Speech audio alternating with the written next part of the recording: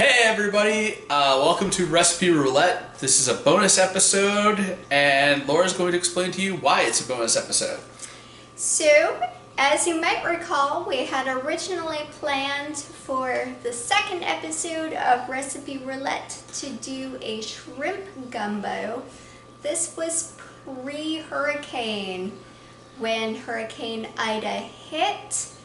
Um, it caused us to be unable to get locally sourced shrimp, which is what we strive to do. We like to use local ingredients whenever possible, and until the fishermen and the shrimpers are back at work, we have put that recipe on pause. So in the meantime, we have pre-chosen a recipe that we had ingredients for at the house because also because of the hurricane, the stores have had limited food availability.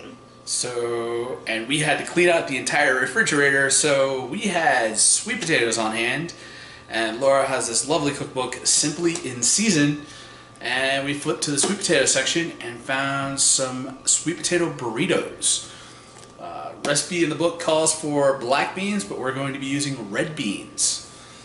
So, it's red beans and sweet potato burritos on Recipe Roulette. Action. So for red beans sweet potato burritos, we need sweet potatoes and these are from our local farmer's market pre-hurricane. An onion and yeah, it was supposed to be black beans according to the recipe. We had red beans on hand. So I've got my red beans I've pre-cooked in the Instapot. And for seasoning, I'm using cumin, cinnamon, and salt. Salt is on the table. Thank you. Welcome. And I'm going to dice up the sweet potatoes, dice up part of the onion. I'm going to saute that in a frying pan. And when they are uh, tender, wrap them all up in the burrito with the beans and the spices, add some cheese. The recipe calls for cheddar. We're actually using Gouda. Again, what we were able to get. Um, and put it all in the oven. Okay, so I'm going to dice these up and I will see you in a minute. So we've diced up the sweet potatoes and the onions. I have them in a frying pan with a little bit of oil and just letting them cook. The recipe says to add a little bit of water or apple juice as needed to prevent sticking. So that's where they are right now. Okay, so our sweet potatoes and our onions are all cooked up in the frying pan. I'm going to add the beans to this. And our spices. Add some cumin.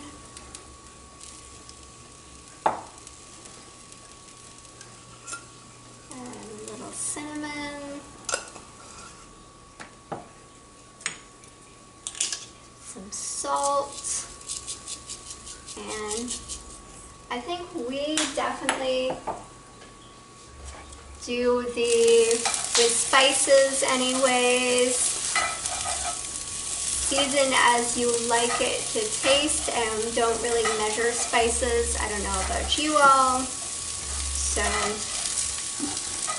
kind of combining this and then give it a little taste test and season as we think it needs.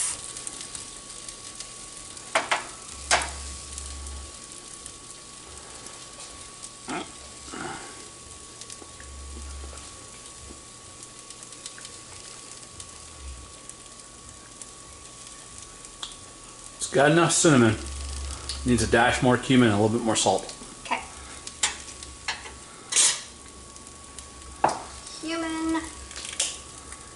And salt.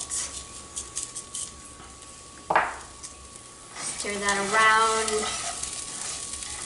We recently had to re-season our frying pan, our cast iron frying pan. Yeah, I think I was being a little too aggressive with the cleaning. Yeah, it was pretty easy to do. Yeah, just oil it up, put it in the oven, let it sit, let it cool. Okay. Taste test number two.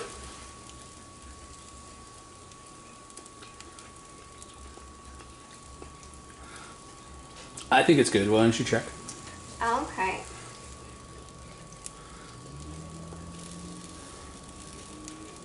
Mmm. All right. Well, let's swap spots, and I'll start putting the wraps. Okay. All right. All right. So I'm gonna need a spoon. Take a spoonful. Another spoonful.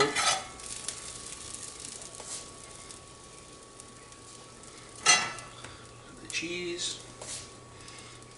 Always, when you're making burritos, you tuck the ends in, roll them up. And of course, now they're going to fall completely apart.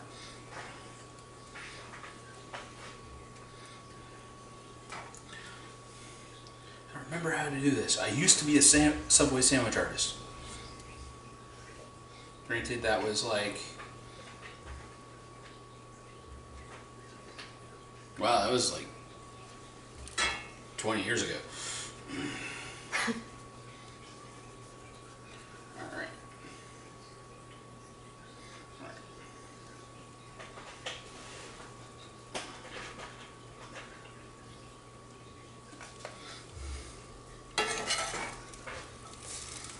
Some more. I got started on one side.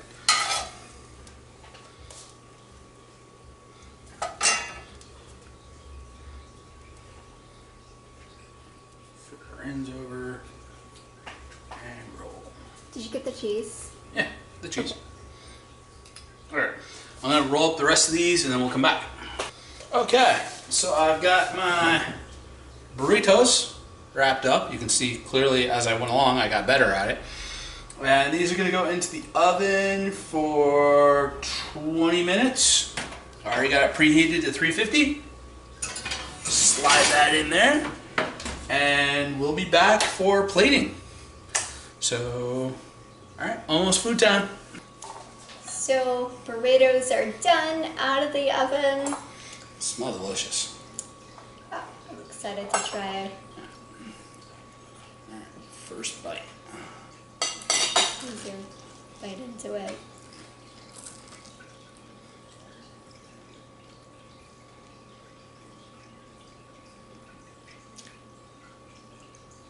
That's really good. I would not have thought to put cinnamon into a burrito, but it just brings out the sweetness of the sweet potatoes. And it's amazing. Yeah, nice all around flavor. Mm. Okay, moving on to our next recipe. So I grew up with the Betty Crockers cookbook. Uh, that's why I have a copy of International Edition because I found it at a not Goodwill, the other one where we've been donating. Salvation Army. Oh, Goodwill. Where we've been donating a lot of stuff that we don't need anymore. So I found a copy of the International Edition at the Goodwill in Bangor, Maine. Picked it up so because mom had the hardback version of the Big Betty Crocker book cookbook. Found this while we were in Clarksville because we went up to visit my nephew uh, Nick and his wife Danielle. Put us up for the for a couple, for the weekend so we could have a place to stay where we'd have hot water, electricity, internet, you know, all those nice luxuries that everybody's become accustomed to. AC. Yep, it's nice. Clarksville is in Tennessee, by the way. Yeah. So, uh, yeah, I found a copy of the Betty Crocker's cookbook. It's actually the paperback version, so it's like 803 pages long. So, it is going to be what we're going to select the next recipe out of now that we can actually get around.